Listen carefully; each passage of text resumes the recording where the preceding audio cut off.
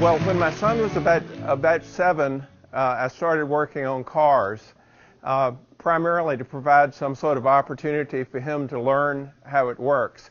After he had been doing this for a couple of years, I said, you know, if you end up doing the, this mechanicking work and all you learn about is how to fix cars, then you're doing it wrong. This actually should be a good way to explore how the world works and so forth. Well, Today I'm going to describe a little bit of uh, tinkering. We're going to go under the hood of nature a little bit and see how the details of that work. And it's going to be rather surprising because you don't have to go very far from home uh, to get to uh, to get to a part of the universe where the rules are very very different from what we see every day. First of all, let's get oriented as to where we are, uh, both in the universe and in scale. Here's a picture of the Milky Way right there from some observatory, and you'll notice that it's a flat band across the sky. That's because we live in a disk-shaped galaxy, and that happens to be the direction towards the center of the disk. So it's flat, and we're looking that way, so it makes a band across the sky. Takes light about 10,000, sorry, takes light about 25,000 years to get from the center of our galaxy to here. It takes light eight minutes to get from the sun to here, so that gives you a sense of scale. Now let's change scale a little bit more. Here's a, a picture uh, taken with the uh, Hubble Space Telescope. All these little smudges on here are galaxies.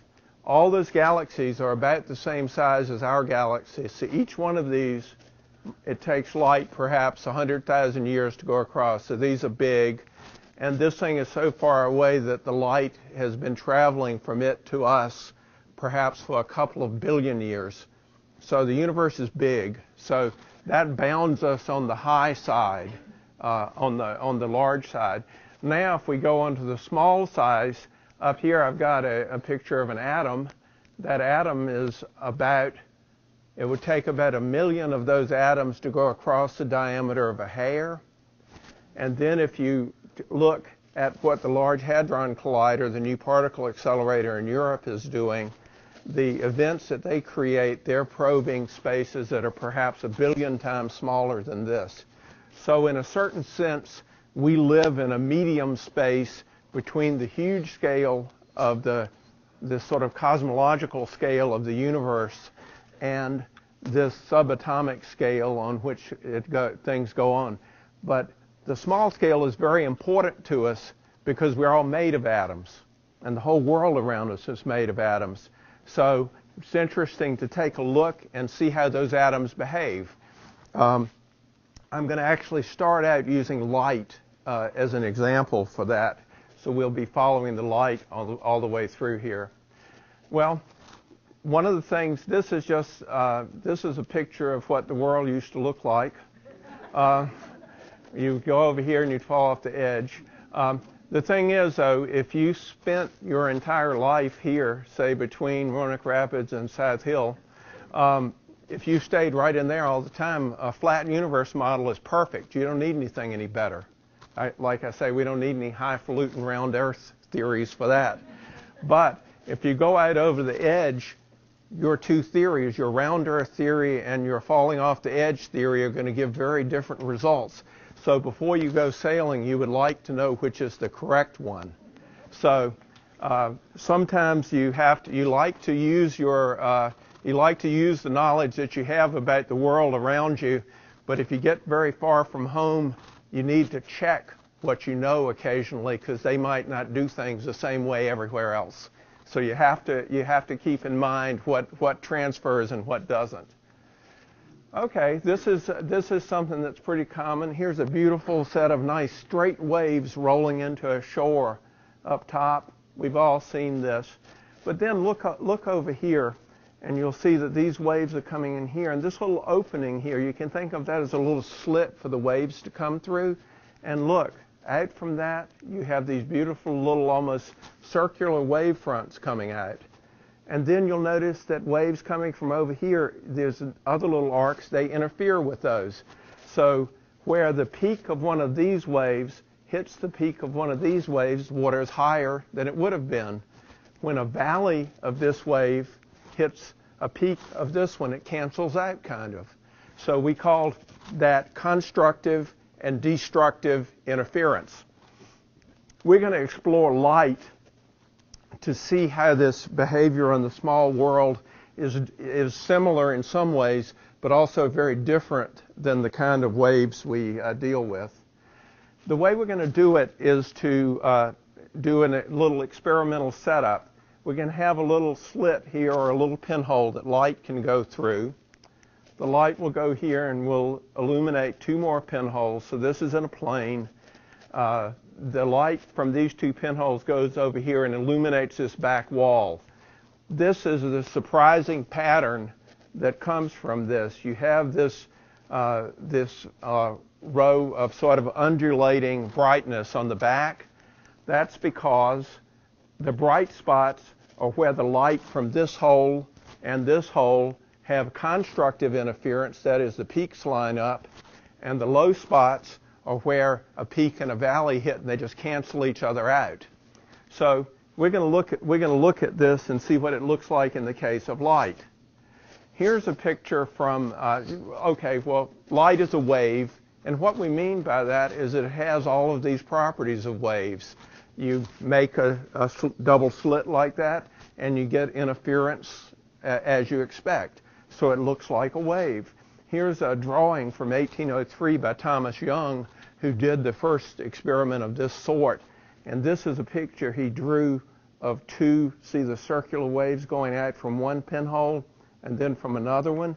And then he looked at the wave height here, the peaks and the valleys of the waves over here on the back side. So the waves propagate across there, and we see what it looks like back there. That was his drawing. And he did it also with sunlight.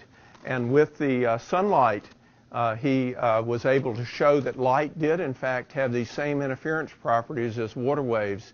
And he said, and this was a wonderful thing because anyone who had a little bit of uh, material to make a couple of slits out of in a sunny day could repeat the experiment himself. So this was a, but you got to think to do it, is a thing. Um, Okay, let's let's take a look here and and see what happens. What what does this interference look like with light? Here's the, somebody took a red laser just like the one I'm pointing at the screen with here, and they put it through a slit. The light goes through and it illuminates a pattern on the back surface like that. Okay, so that's not unexpected. Then I open an additional slit next to it and it produces this interference pattern. But one thing to note here is that while they're brighter places, as you would expect if we open up more holes, there are some places here there's little dark lines between. By opening another hole, we actually made it dimmer at some places than it was up here. So somehow we've taken away light from certain areas by opening another hole for the light to come through. So that's getting kind of interesting, okay? All right, so we, have we've, we've got this. So what's going on there? And we know from our discussion earlier that the um, that what what really is going on there is we're getting destructive interference. One of the the light through one of the slits is going up at that point, and the other one is going down. So you end up averaging to zero. So you can actually have places with no light on there. So that's what we expect. Okay, what I'm going to do here, though, is to say, let's do another experiment. We've got the same setup. We're illuminating these two, uh, these two slits. Since the slits are illuminated from this point here, both of those slits, the light coming to this slit and this slit, have taken exactly the same amount of time.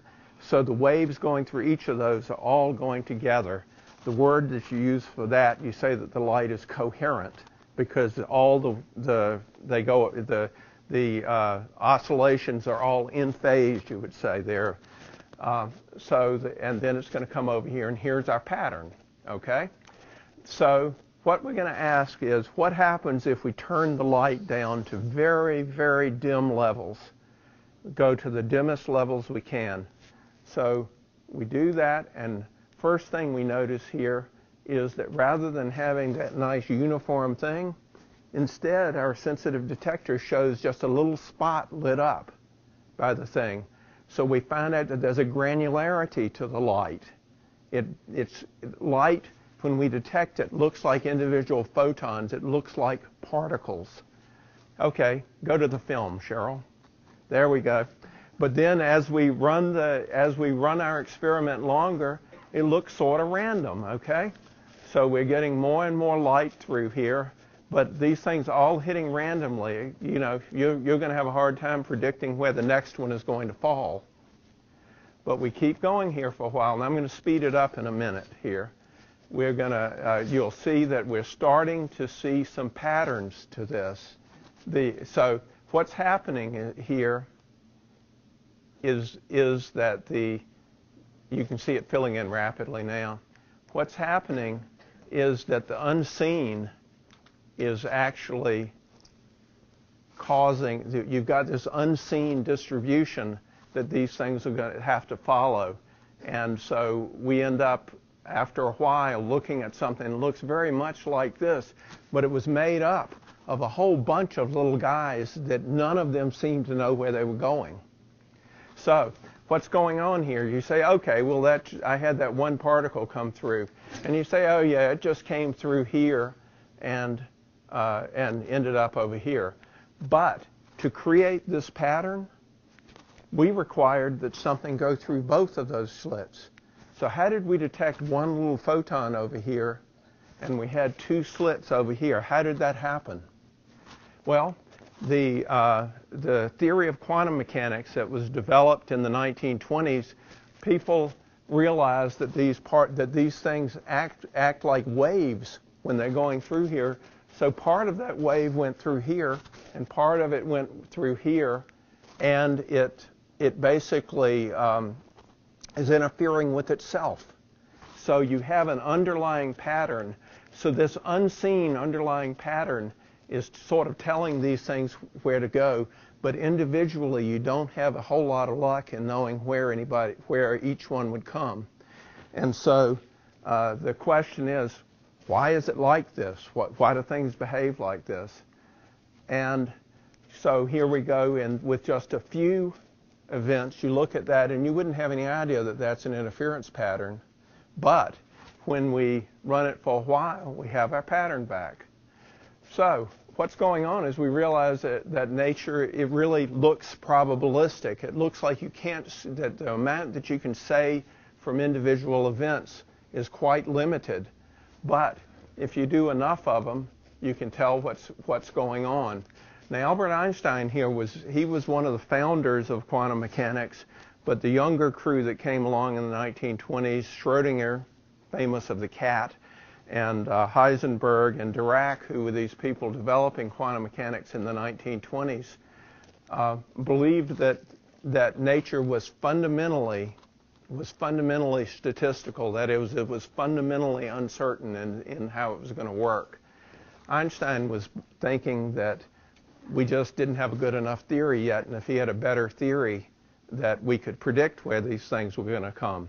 Well, turns out it looks like in this case he was wrong. It looks like the universe is fundamentally uncertain because the theories that were developed based on this uncertainty are absolutely perfect. I mean, they, they, this is, if there's any kind of bedrock rule of the universe right now, it's certainly quantum mechanics. Um, the interesting thing, though, is that, is that these quantum states are just like a casino because you can go to a casino and you play a couple of games and you can win or lose and so on like that. And you got a chance of winning, a chance of losing. But since you only play a small number of times, you might come out ahead or behind or whatever. The casino never loses because uh, the casino gets this case where they've run a zillion of these things, so they know exactly what they're going to get. So at the end of the year, they can tell within a tiny fraction of a percent what's going to happen. You're there doing your few games, and you could end up over here or you could end up over here. You don't know whether you'll win or lose, but there's some probability of it.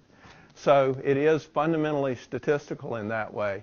But the mathematical theory that was developed to explain this kind of behavior, and it's a nice de- detailed theory. You can actually calculate all sorts of uh, interesting properties of things. Turns out it's really critical in a modern uh, technical society. If you're going to be designing uh, transistors in computer chips or whatever, you have to have it there. You're doing laser physics to uh, develop one thing or another, you have to use it. And here we've got a protein all strung out to begin with and then getting folded into some shape so that it can pr- produce some um, uh, biological material that we need in our bodies. All these things you need to be able to do the uh, uh, do the uh, quantum mechanical uh, calculations. Um, in summary, though, I'd say that this is very, very strange behavior. But on the other hand, if you look at the world around us, the world itself is pretty daggone strange. We're just used to it. And so uh, my guess is, is if we actually saw this on a day-to-day uh, basis, we would think it was perfectly normal.